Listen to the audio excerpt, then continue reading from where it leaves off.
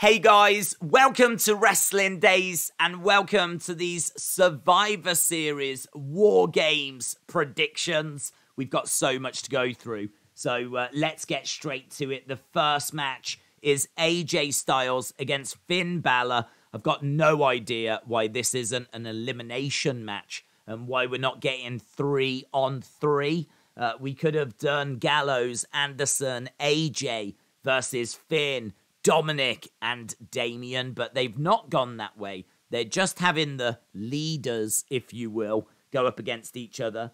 And uh, my feelings here are that I think Finn Balor is going to win. The reason why I say that is because the rumors are that Triple H wants Finn to be a big star in 2023. That is actually going against what the bookmakers think the bookmakers think that AJ is going to win because he is coming in as a minus 400 favorite. Finn is plus 250. So um, it's kind of close, but they feel quite confident that AJ Styles is going to win. The other reason why I think Finn's going to win is because obviously we're not finished with Edge and Edge and Beth were brutally beaten down by the Judgment Day. So I think Edge is coming back soon. I think Beth is going to come back with him. And surely Beth is going after Rhea Ripley.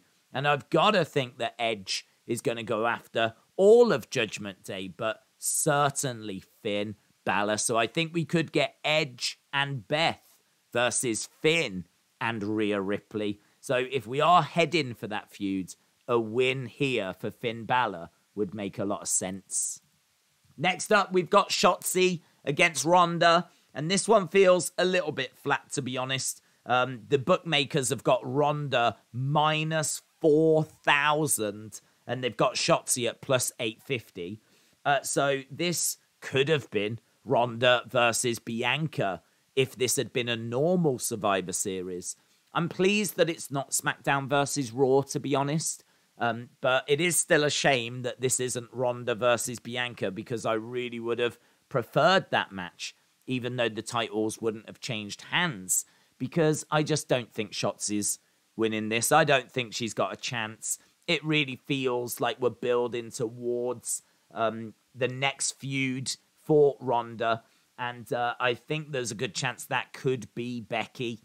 Becky and Ronda is sure to be the match at WrestleMania. Apparently, that is the plan.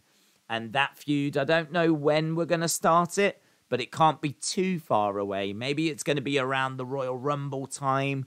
Maybe Becky wins the Rumble and then she goes on to face Ronda at WrestleMania. It's hard to know how we quite get there, but I don't feel like this feud is that far away. So um, the point is, I don't think we're going to be taking the belt off Ronda because I think the match at WrestleMania could be for the SmackDown Women's Championship. So uh, that's why I'm thinking Ronda retains here and continues to retain as we head towards WrestleMania. Next up, we've got um, Seth versus Austin Theory versus Bobby Lashley for the United States Championship. Now, what I would say about this is the odd makers have got Seth as favorite, minus 150. I agree with them. Um, I think Monday Night Rollins has been working very well. So I'm going to say that Seth retains. Watch out for a Shield tribute because, of course, this is 10 years after the Shield debuted at Survivor Series 2012. We had Seth dress up in his Shield attire at the Royal Rumble. Could we see him do that again here? Could there be some other tributes? Um, I'm not too sure, but I expect something. 10 years of being on the main roster is significant. So uh, just keep an eye out for that. Uh, Bobby, I think, could go on to his feud or go back to his feud with Brock because, of course, Brock and Bobby uh, had a big match at Crown Jewel, and it doesn't feel like that's finished. And Austin Theory is going through a big character change. And so I think we're going to continue to do that with him. And he doesn't really need the United States Championship for that. So I'm saying Seth retains. Next up, we've got the women's War Games match.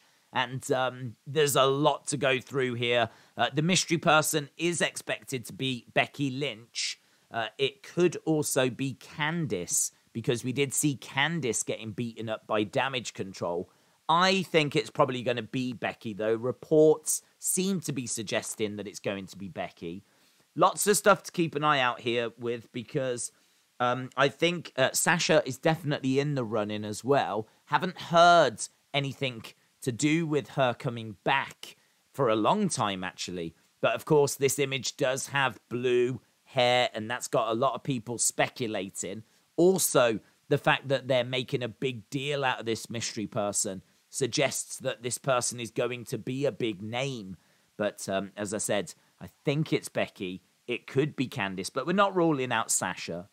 Alexa, I think, is going to be interesting here because she seems to be connected with Bray, and we've seen a lot of his logos in the background. We don't know if he is targeting her or recruiting her.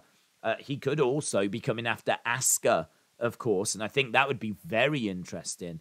I would love that swerve. If he is coming after Asuka, looking to recruit Asuka, and he does recruit Asuka, and Asuka then starts attacking Alexa, like that could be awesome. So um, yeah, every time we've seen the logo, both Alexa and Asuka have been there. I don't know that that's what's going to happen, but that would be cool. Uh, that would be a swerve that I don't know that uh, people would be expecting. But I think we're going to get something with Alexa. It could be that she acts a bit weird and walks away, leaves her team, and uh, obviously there'll be a lot of questions uh, about why she's done that, and we'll need answers, and maybe we get those answers on Raw or start to get answers on Raw.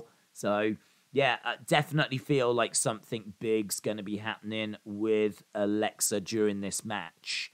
Um, I also think Iyo and Asuka will have some sort of moment because every time they've been around each other, they've had a moment. They've obviously got a very rich history together. They've been in a faction together over in Japan, so they know each other very, very well. So uh, keep an eye out for that. I would love Rhea to pin Bianca because I think Rhea versus Bianca on the main roster would be an incredible match. That match deserves to be at WrestleMania. So I would love it if that's what we're building towards. I also think if the mystery person is going to be Becky, then could she uh, manage to go after Bayley? And could this actually start a Becky Bayley feud? I sort of feel like Bayley has had a few chances at the title. I don't think she's going to be winning it now. I think Bianca's going to keep it till Mania.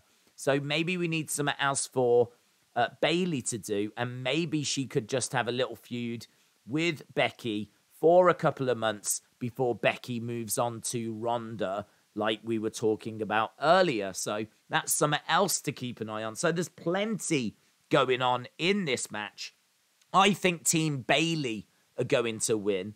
Um, I think Team Bayley are going to win because I think there's uh, a lot of options. As we said, you know, Rhea could pin Bianca. Maybe Bayley goes after Becky. Like maybe like you know that starts that feud, and maybe it starts that way rather than Becky pinning Bayley. Um, I just think that Damage Control really do need the dub.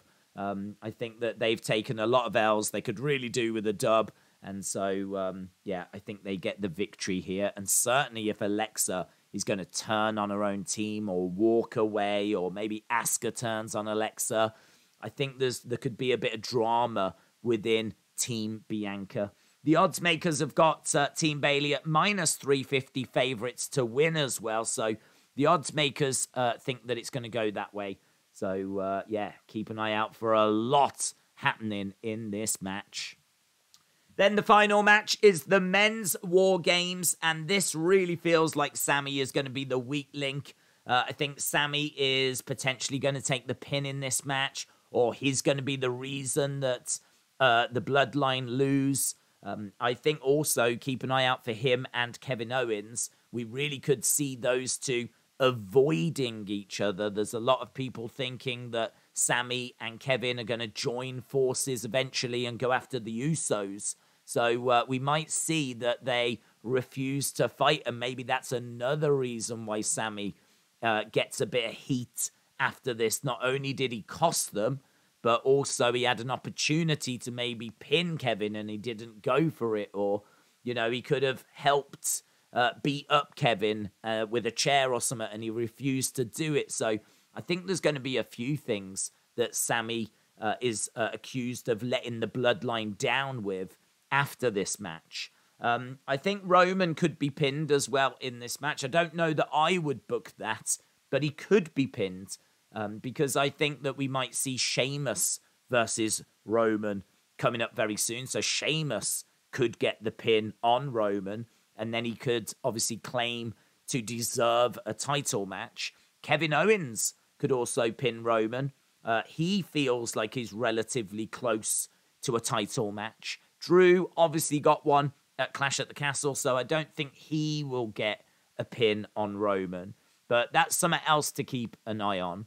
Um, and so, again, lots of moving parts, but I feel pretty good that uh, Brawling Brutes are going to get the victory here. The Team Sheamus will be victorious over the Bloodline. People are going to be asking about The Rock because, of course, lots of rumors about Roman and The Rock at WrestleMania. Um, I don't think we get The Rock here. I think there's going to be so many talking points, so much going on with this show. I feel confident that The Rock is going to be facing Roman at WrestleMania. But as I said, I just don't think that needs to start here. Uh, and then finally, Bray. Everyone's going to ask about Bray. Obviously, we might get the answer on SmackDown. I think if he is on this show, he'll be in a match with LA Knight. If they do give him a talking segment, then I think LA Knight is still going to be involved. Um, obviously, last week there was the big beatdown. I, I can't see there being any segments that don't involve LA Knight. And so I don't think we're going to get any big reveals or uh, new people or new characters or anything like that. Um, I think that we're just building towards this first match which doesn't feel like it's going to be that far away. But um, yeah, my thoughts with Bray are anything involving Bray will heavily involve LA Knight. And that's it. Let me know your thoughts down in the comments below. Really appreciate the support as always. Don't forget, we will be doing the live watch along for SmackDown and the live watch along for Survivor Series. Uh, they are both on the channel as always. Um, the wrestling streams are still going on, even though there's loads of World Cup streams. We're still all over the wrestling streams. So, very much looking forward to a big weekend. Awesome, guys. Thanks for watching. I'll see you next time. Bye for now.